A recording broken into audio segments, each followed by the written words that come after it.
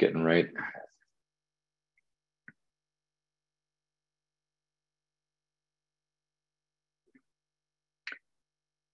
Thanks everyone for joining. We're going to give uh, participants a few minutes to uh, to join us. So we'll get started, uh, let's say in, in three or four minutes.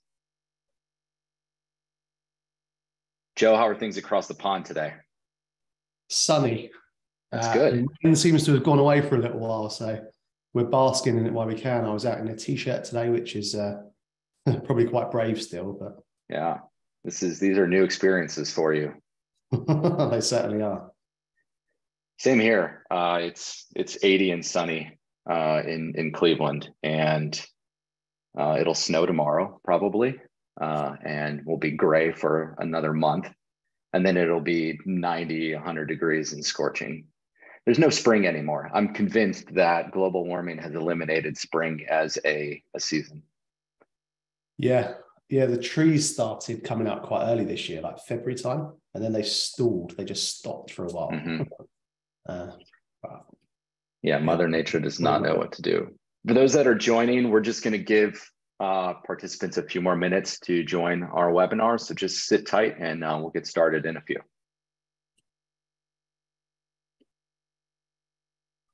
Any bank holidays coming up?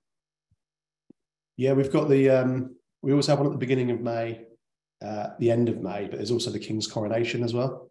So we've got three in May this year. Very nice. Mm. Was always jealous of those bank holidays. Yeah, we just had two for Easter as well. So we uh, we tend to like front load them all. You get you get one in H two before Christmas, and that's it. So we like go strong in H one.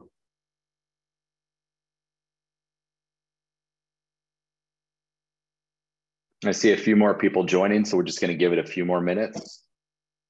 Hang tight. We'll get started maybe six past the hour.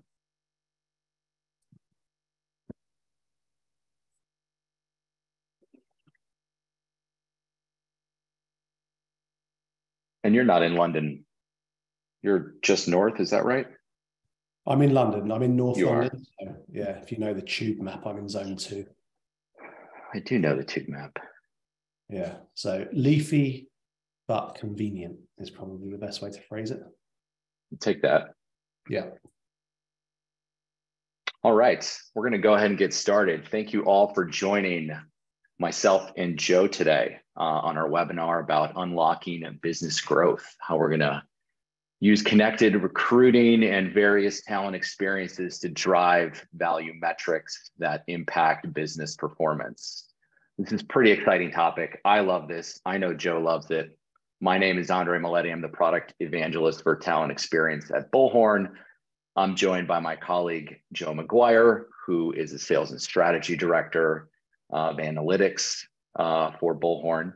Uh, fun fact uh, Joe and I share something in common uh, and it's not that we don't have any hair. We actually both came from acquisition. So Joe came from Cube 19, uh, and I came from uh, from Able. Anything else you want to add, Joe, or you think that's good enough? We can get right into it. Well, I was wondering if it's the uh, Bullhorn strategy to acquire companies with uh, bald CROs, but that's it. And here we are, uh, and we're going to jam on a really, really exciting topic today. Before we do get into uh, the details, let's go ahead and do some housekeeping. So session is being recorded, as many of you know. Everyone except for Joe and myself will be on mute.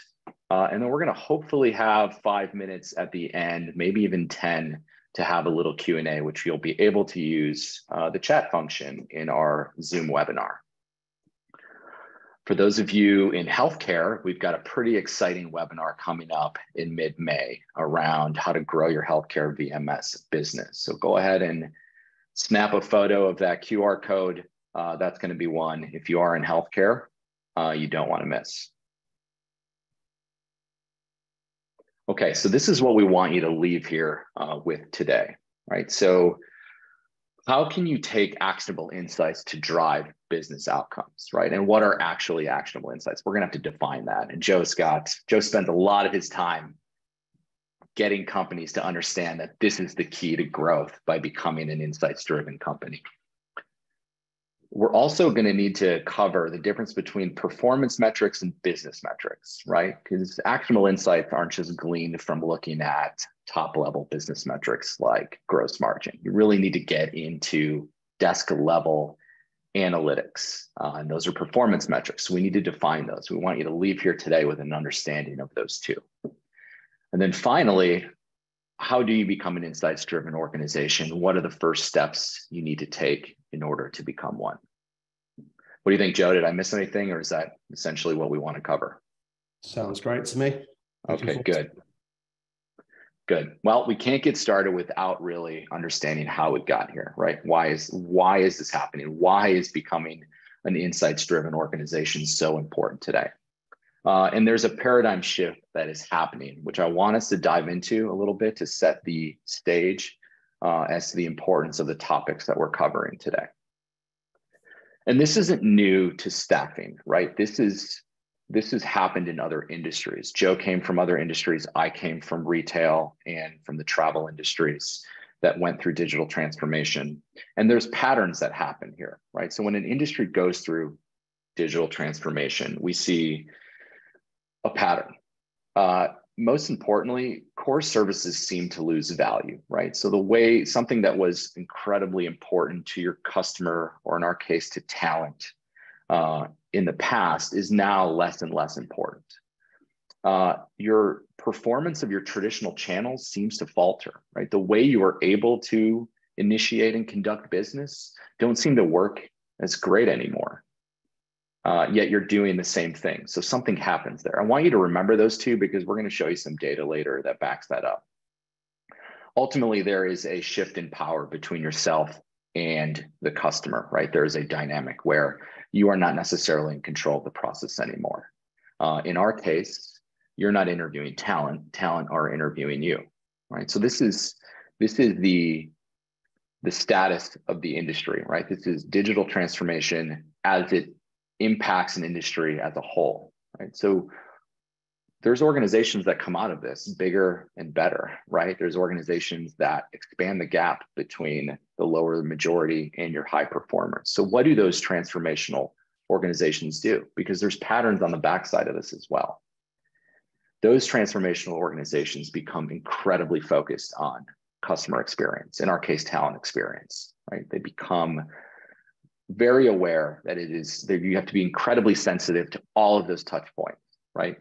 And then you need to lean on insights to inform changes to those business processes to improve the overall performance, right? They become aware of everything that matters to their customer base.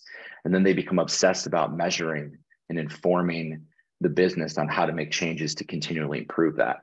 And they don't just do it once, they become vigilant and obsessed at innovating and optimizing these journeys. Right? We see this, we saw this in travel, we saw this in finance, we saw this in retail, and we're seeing it in the staffing industry today.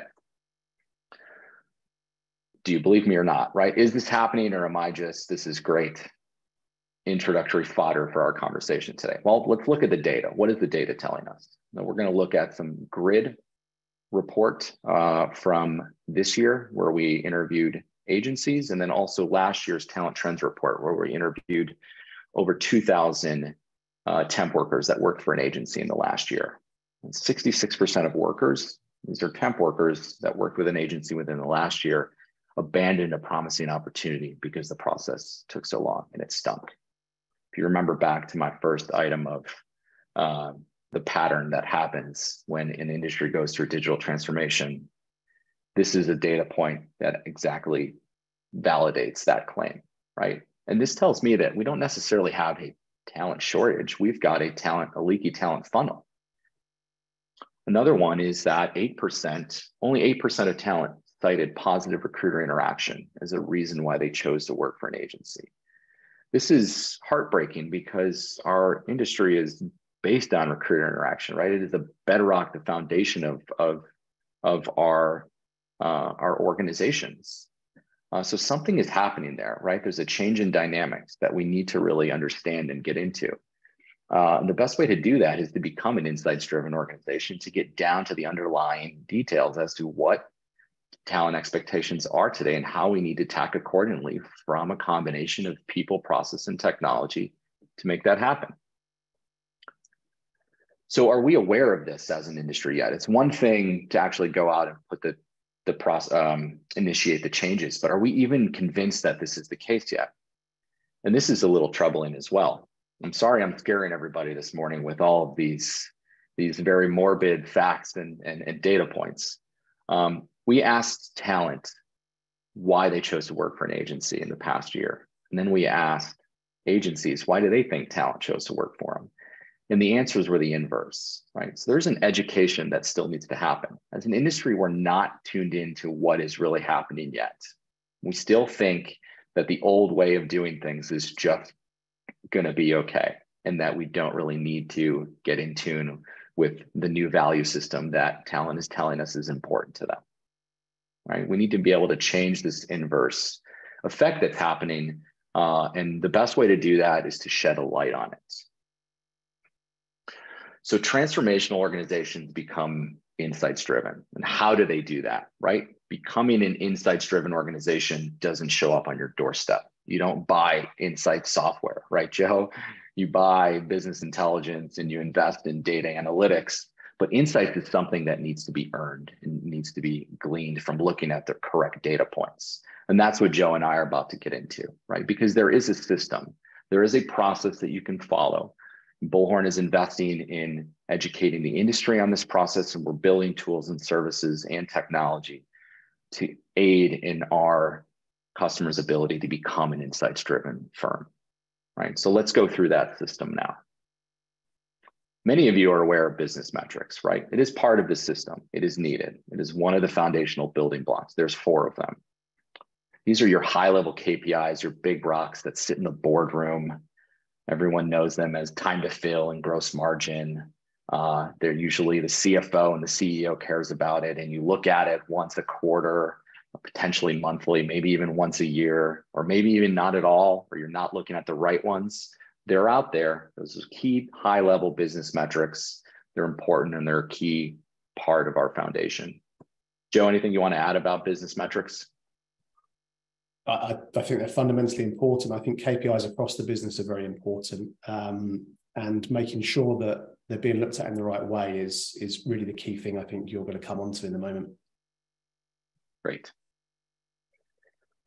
The next part of our building block is is key to the foundation, right? And that is those actionable insights, right? Um, Joe, I'm going to let you cover this one because this is your bread and butter. Tell us about actionable insights and why are they different uh, from just looking at business KPIs?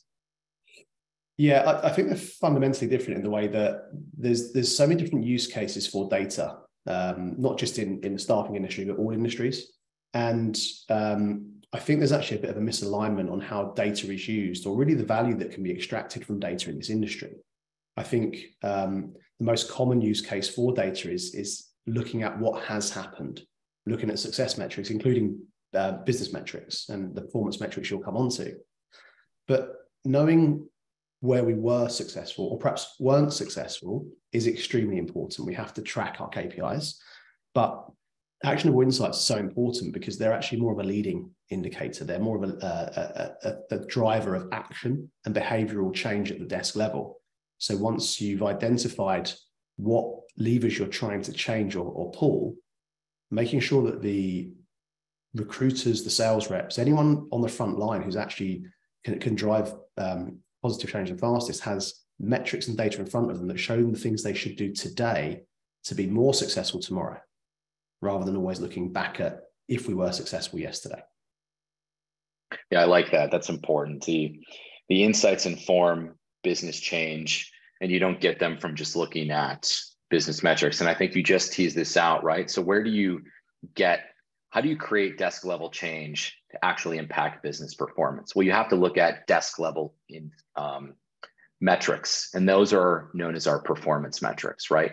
These are the ones that are aligned with uh, your recruiting engine, right? Your talent funnels. These are the metrics that sit below your business metrics that are on the front lines. And this is where you glean your actionable insights. Is that correct? Absolutely. Yeah. Knowing, tracking and benchmarking where you are today should inform where you're trying to, uh, should inform where you need to tweak and change to improve tomorrow. And they are the drivers and the foundation for which actionable insights are relevant for which people within the business. And they should vary, they should be different. Got it. And then based on, eh, there's, let's say, well, at Bullhorn, we've identified, I want to say, 13 performance metrics that various, depending on vertical, there's not, it can cover the entire talent life cycle, right? Your entire recruiting and HR operation. But some of them might be more important than others based on the type of business that you run, based on your strategy and your go to market. Is that right? So it's more of an understanding of which ones to hone in on so that you can actually initiate those, those changes that you want to make. Completely, and I, I think um, you know market conditions will absolutely play a part in which metrics are more important at which time, um, and also perhaps the the skills of the individuals within the business. You know, some are stronger in certain areas than others. So making sure that that all of the information and, and context is considered before taking strong action. That's a good point. I didn't even think of that you know in a, a talent shortage or a talent surplus your your performance metrics the ones that you focus on are going to be different so you need to put in the effort to identify the type of organization you are the market conditions so that you really hone in on which performance metrics you need to adjust uh, and then of course looking at um, trends right over time and potentially working with partners to identify what industry benchmarks that you can measure yourself against uh, or industry averages or what high performers are doing, right? Working with customer success teams at your vendors to be able to identify uh, which ones to hone in on. I think a lot of that work uh, is is key, or else you won't be able to. You might be able to get actionable insights, but it might be for the wrong performance metrics. Mm-hmm. Okay, finally is the a framework, right? You need a foundation. Like let's say you identify the performance metrics that you need to focus on. You, you figure out the ones that require your attention and then you glean actionable insights uh, in order to initiate change. You need to go back to some sort of framework uh, or levers if you will where you actually take action on the insights that you glean right? And this is our system uh, this is people process and technology right this is your framework um, that's how you you go from an idea to execution to then improve uh, overall business. So let's go into each one of these uh, in detail. And I know we started at the top and worked our way down. Now what we're going to do is start at the bottom and work our way up, right? Let's talk about framework. There's a ton of different frameworks you can use. At Bullhorn, we've created a framework called Connected Recruiting, right? Where as of today, uh, we built it as a set of best practices to help uh, organizations um, drive better engagement across the entire talent lifecycle. Well, we're evolving that framework to include more of the talent experience, not just the engagement portions. And it really begins with identifying your talent lifecycle, right? And breaking this into specific buckets and categories and stages because then you can drive personalization you can drive personas you can drive st- strategies specific to the stages of the talent lifecycle once you have that identified you can start identifying what are those key levers right? What are those touch points that if you deliver a really really great experience you can move the needle on a performance metric we call these the moments that matter we've identified over 20 key moments that matter along the hiring journey that we would want to see our customers focus on. And they're not all going to be have coverage around Bullhorn products and services. Some of these are outside of our scope. Some of them can be supported by marketplace partners or just general internal efforts for an organization. But these are the key touch points that if you really, really want to create high velocity and build a flywheel, you need to draw your attention to. I know I'm going through them fast. Don't worry, all this content is going to be available on our Connected Recruiting microsite, as well as the recording that we'll send out after the session. Right, so that's our framework. We have the talent life cycle. We have the moments that matter. Those are our levers. The actionable insights that we glean, we're going to go pull some of these levers. we glean those insights from performance metrics, right? So you're delivering on all these moments that matter. Are you being successful or not? Are you moving the needle? How do we get 66% talent drop off because the experience stinks to 40%, right? Or even 30%? How do we get positive recruiter interaction up? Well, we need to start measuring things along the hiring journey, right? Along our talent lifecycle. Our moments that matter are directly related to the metrics that matter, right? These are our performance metrics. These are our desk level data points that we want to look at on a regular basis. And then compare them, of course, historically, compare them to market trends. And of course, like Joe said, identify the ones that are important to you based on the type of business you are, as well as the market conditions. Joe, anything you want to add to these, these desk level KPIs? Um, I would say that I, I, think we're lucky to work in an industry where um, there's a high level of motivation and a great work ethic. So I think it's our responsibility as leaders to support our teams to make sure they've got the tools, the data points, and the information they need to improve return on effort they're putting in. Because almost every time there's a lot of effort happening. And I think this whole framework really starts to articulate that, that there's a lot of moving parts, there's a lot of um, expectation on, on recruiters and sales reps across the industry. And by making some small tweaks and some we, uh, marginal gains, we can have really big uh, success and outcome from these things. And we can really help our teams be more successful in, in everything they're doing. Yeah, it's a good point. It's marginal gains, right? You're not looking to hit a home run. You just need small, um, to use a baseball analogy. I know, Joe, this is not going to fly with you right? But you need to just play small ball or money ball, if you will, right? How do I how do I reduce candidate acquisition cost by 10%? Well, you just need to incrementally improve a couple key of these performance metrics in order to do that, right? Small micro changes. It might be content, it might be a little more personalization, it might be an investment in a better onboarding process for I9, et cetera. It's these little changes that are going to impact the numbers down the road. Now, which ones to do and, and what actually, how do you get the action plan for that? Well, that's our next piece, right? The insights. Joe, I'm going to let you take this one as well. Yeah, so I suppose following on from from um, my comments earlier, the the industry, I think, as a whole, generally speaking, measures the past, what has happened. Traditional volume-based metrics, which are extremely important, they play a very important part. I'm not saying stop measuring them; quite the opposite. But what I'm saying is, uh, if you can uh, support those metrics and support uh, staff and users within the business with actionable insights to help guide them on how to improve the KPI numbers, that's really where these marginal gains and successes can come from. So we've, we've put three examples on the screen. We're certainly not limited and restricted to three. These actionable insights actually should flow from the, uh, the inception of the business development process all the way through the, the sourcing, deployment, and redeployment. But in terms of uh, what we're talking about today in connected recruiting, we're thinking about the candidate and talent side. Most companies will probably track how many leads, new, uh, new, new uh, candidate leads are being added to the system. But there should really and needs to be an action that happens after the fact to drive any kind of result. So it's thinking about that. What's the next step in the process, and how can we prompt and remind people to take that next step?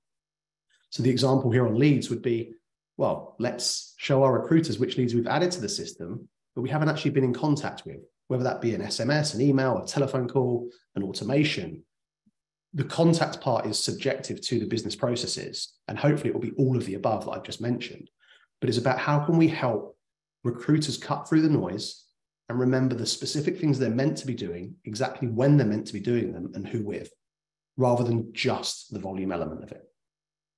Now, if we think about interviews, interviews is of course an important part of the uh, the sourcing process, but in a talent short market, it's important to make sure that the candidate placement rate is as high as possible. So rather than just getting uh, a, a, candidate at an interview with a single client, well, chance of placing that candidate is going to be um, pretty low, like typically about 20%, one in five, if you just present them to one client. So getting them in front of a second client often will increase the chance of placing that candidate by about 50%. So how can we prompt and remind recruiters rather than just arrange a volume of interviews actually, if you work a, a, this candidate a, a little bit more, get them in front of just one more or two more clients, you will significantly increase the chance of placing that talent. And to Andre's point earlier on, uh, we need to get better at, at um, uh, I suppose, uh, shoring up the leaks in the bucket of the, the, the talent funnel. So um, rather than just saying we need more talent, we need to get better at utilizing the talent we already are working with. So silver medalists, this is really where that will come into the conversation. Um, and redeployment, you know, uh, contractor and temporary deployment, in my opinion, is the biggest missed opportunity in the global staffing market. If you look at the numbers across the industry, they're very low in terms of the percentage of um, temps who are redeployed into their very next role by the same agency that had them in their previous. Very low. Um, I would encourage everyone to go and look at this, this stat and data in your own business. But knowing that number is only the starting point. It's the benchmark and barometer of where the opportunity is or how much opportunity still lies, and it's big. So, how do you improve and, and make sure that we're capitalizing on the opportunity? Well, um, if you can put a metric in front of recruiters that shows them the uh, people coming off assignment that have not had the relevant activities to redeploy, client submissions, interviews, or whatever might suit your workflows. That's what moves the needle. That's what drives improvements in performance.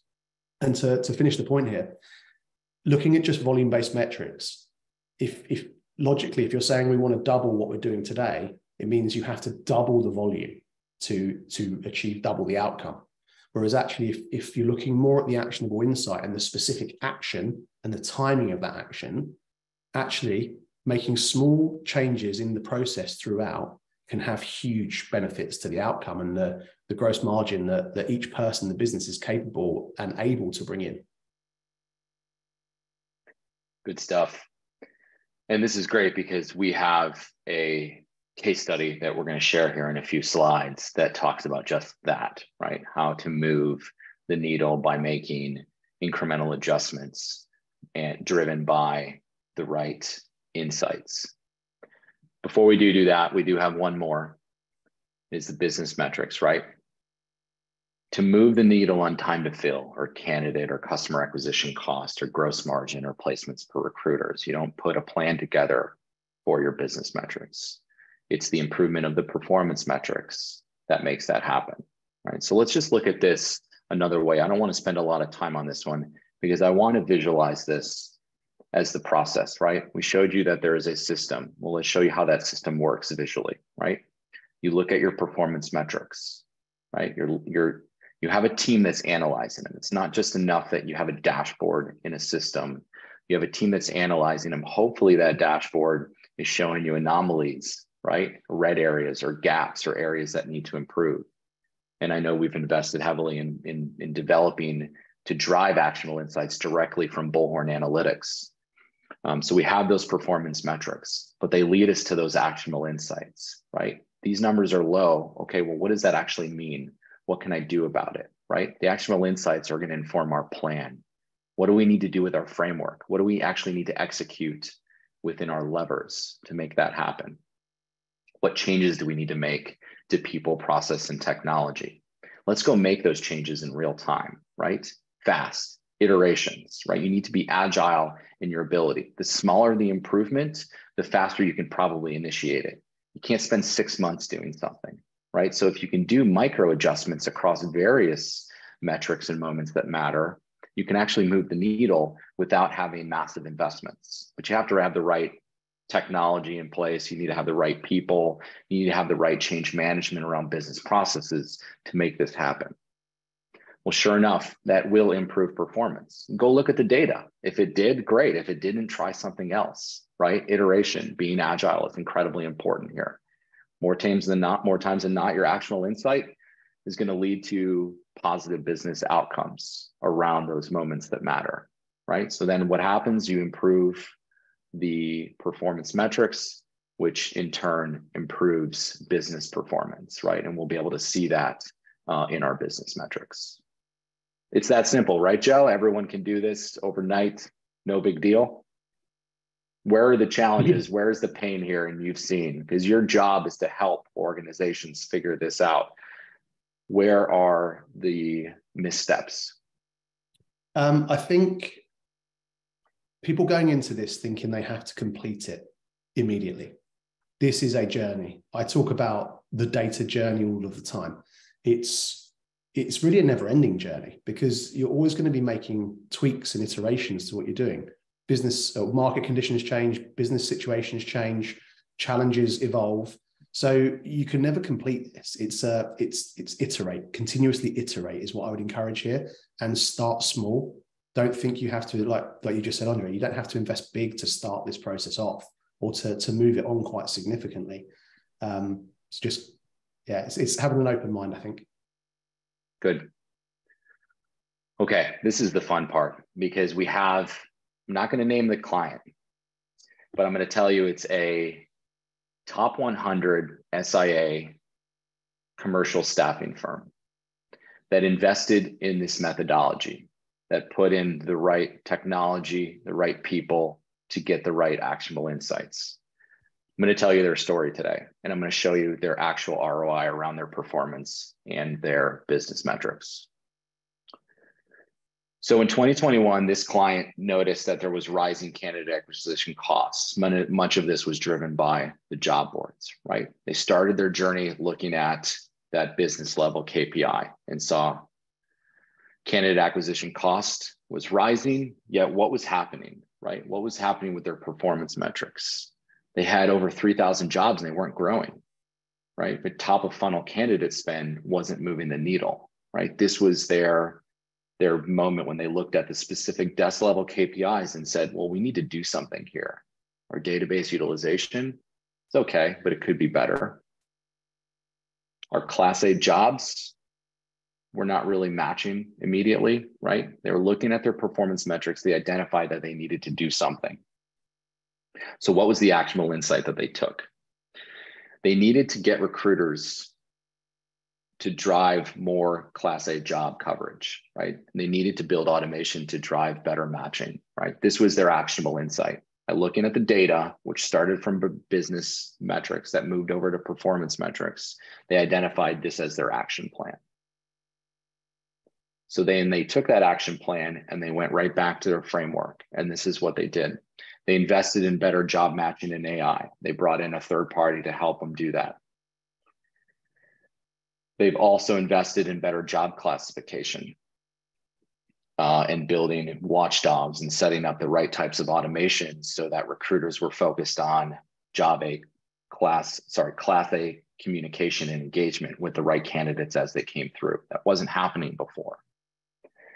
They created talent lifecycle segmentation so that they could drive more personalized communication, right? They created personas based on the talent lifecycle so that in the engagement they had, whether it was personalized one to one or whether it was automated, they were driving better quality touch points, which in turn created a great talent experience. And you could see that in their open rates. That, of course, was more personalized, right? So it was really involving personalized recruiter engagement, right? So this was their story. Started with a business metric. They looked at the desk level performance they identified areas that they needed to focus on, which I'll show you those specifically in a second. They came up with their actionable insight. They went right into their framework and said, we need to make changes to these four or five areas. Joe, this, um, this path here, is it as linear as we're making it sound? How can, what, org, what body within a business organization needs to drive this, right? Because this touches a lot of people. It touches technology groups, recruiting ops, it, it impacts people at the desk level. There might be financial implications if you need to invest in technology. I mean, this is a this is a an initiative here.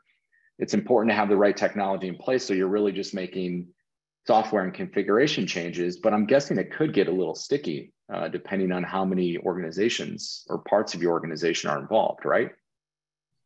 Yeah, I, I, think what I've seen a trend in over the last few years is that the companies that are utilizing data the best, the ones that have data in front of everyone, not just leadership, you know, making sure that that appropriate optimized data is in front of the right people, actually is helping um, bridge the gap between departments. It's actually bringing departments closer together, and, and collaboration is imp- is increasing because it's not just reliant on a person or a certain job role to take ownership and, and identify these things even You know, if if team managers or even sometimes recruiters or, or uh, sales reps have got access to the right data, they will be asking new questions, questions that perhaps the business hasn't even posed before.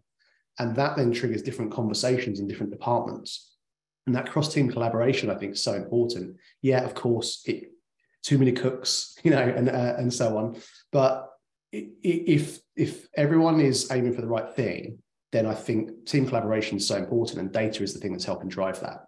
But it is fundamentally um, essential for leadership to be driving the ultimate change in behavior and, and evolution of the business. That's leadership's role. So uh, you will struggle if you can't get leadership buy-in. Um, but I think it, it's the responsibility of everyone in the company to to be working to to be better, to improve. Great. Thanks for that. So this client, who, by the way, if you do come to engage this year in Boston, will be on stage with me uh, and talking about specifically the changes they made uh, to the framework and the technology. Uh, we'll be getting into the details. Um, so they made those changes, right? They made those investments into the framework. Let's see what happened to performance and business metrics. Database utilization from 21 versus 22 went up 9%. By the way, this company, when we looked at some other um, comparable organizations within the, the same segment that ran similar business models and supported similar verticals, they were already well ahead of uh, what other organizations were doing from a database utilization rate. And from 2021 to 2022, the industry actually went down in database utilization 3%. They actually went up 9%. So in a down year, when they were already outperforming, they were able to still increase utilization. 50% engagement open rates, right? By focusing on personalization, which was driven by that segmentation, and by focusing on class A jobs and creating those watchdogs and driving the automation for recruiters to focus on the right people with the right jobs, the right message, with the right persona, they were able to increase open rates by 50%. The class A placements, this is huge, right? They in 21, 21 prior to them making this, this change, they were only placing 33% of their class A jobs. After these changes, they got it up to 77% of all placements were from class A jobs. Their open jobs went from 3,000 down to 1,500 and all, of course, those are all your performance metrics. And what happened to the business metric? Their candidate acquisition costs went from $7.34 to 673, which is a little over an 8% reduction. Micro adjustments, these were things that happened. This was from late 2021 to mid 2022. Micro adjustments, not massive investments in business process, not massive investments in technology. There was some tech spend there. We'll get into that in the engage session. Uh, but this is how you initiate change, right? This is how being an insights driven organization can lead to positive business outcomes. And they're not done here. They're looking to now, how can we actually get that acquisition cost number from 673 to sub six, right? And now they're going to look at other parts of their organization. So it's the framework, right? This is one little success story and it's not, and they're not done. And we don't want any organization to be done. This is a play that needs to be put on repeat. You need to have the right people in your organization that are initiating this type of change. Joe, anything else to comment or add? No, I think you've you've covered that perfectly. All right. So let us know about Joe. Tell us about how we can get started here. Our three points. Yeah, I, I think the biggest thing is the shift in mindset. Um, I, I, you've referenced other industries previously in, in this call, and um, I think other industries are faster to transform, um, faster to realize value in data in particular and, and process improvements. So it's that it's that shift in mindset.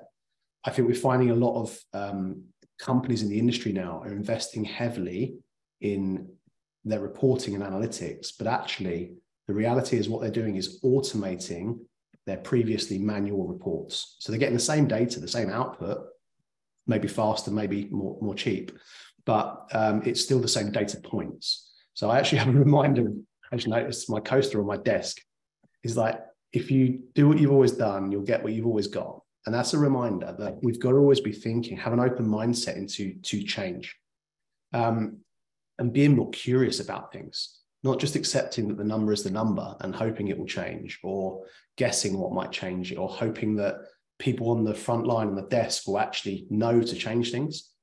Asking questions, why? Why are things the way they are? How could we improve them? And making sure that there's that constant level of questioning. You know, I, I um, talk to customers a lot where when data uh, is more accessible, so come on to the final point that business intelligence is not just for the for the C-suite. When data is more accessible to everybody, the questions that are being asked evolve significantly. If it's self-serve, if, if I can ask a question in my business and get an answer to it straight away, I almost guarantee I'll have a, a, an immediate new question off the back of the answer. And it's about that continuous evolution. I think a lot of companies in this industry in particular has always been focused on management information, MI. Again, hugely important, but there's tends to be a disconnect between what um, the top uh, of the business know or want and the actions the people are, on the desk are, are taking. So making sure that um, business intelligence is spread across the organization, making sure it's optimized for the person so they're not lost in noise and data that they don't understand, but making sure that each and every individual in the company knows their impact, how, how their small part of that company and what they're doing is contributing to the overall strategy, vision, and um, expectations of the company as a whole. And I think data helps communicate that uh, and it helps motivate and drive behavioral change throughout the business. So I think it's it's thinking about data in a new way and, and realizing actually the true value of data isn't looking backwards, it's looking forwards. I like that. Forwards and not backwards. Thanks, Joe. Okay. That concludes our presentation today. We do have a few minutes left. If there are any questions for myself or Joe, feel free to put them through the chat. There was one question about getting a copy of the recording. The answer is yes, we'll be sending that out via email.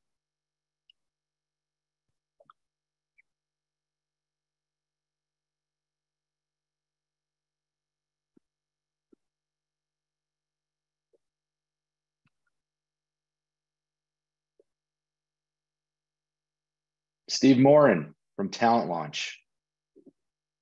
Glad you could join us, Steve. Thanks for coming.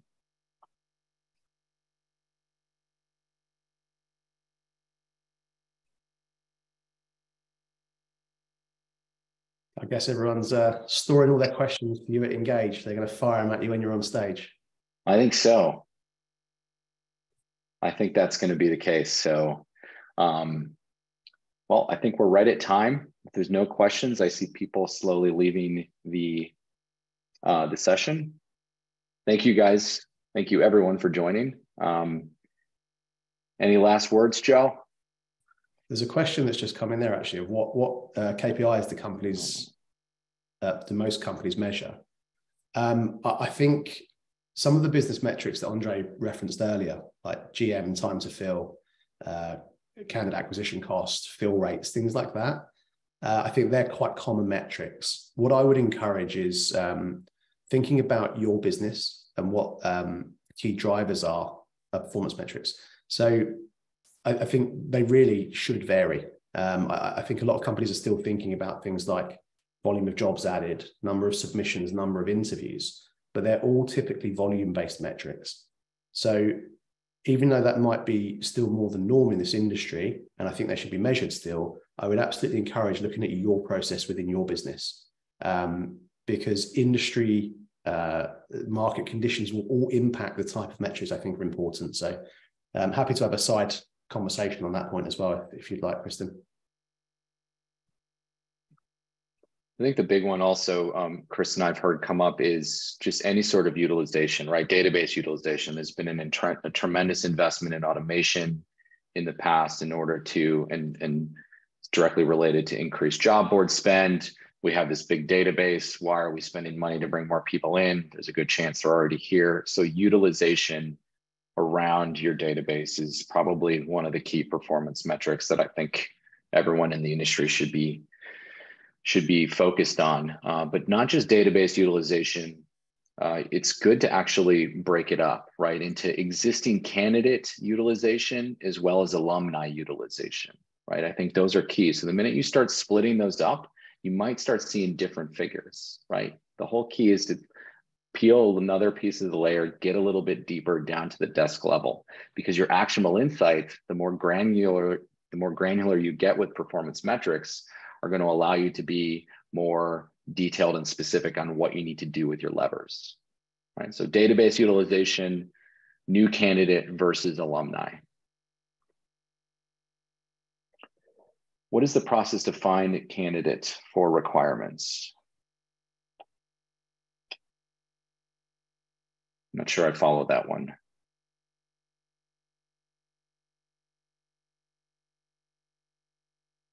Anything on AI matching there maybe that would be appropriate?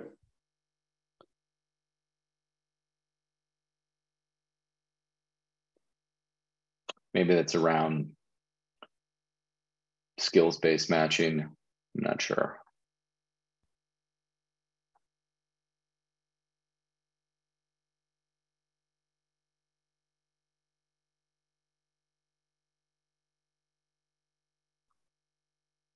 Okay.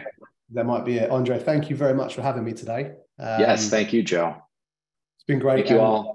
It's a topic I'm uh, naturally very passionate about, like you are. So if anyone wants to connect directly with us and have a have a side conversation, we'd be more than happy to do that. Thanks all again. Have a good rest of your day. Bye. Thank you.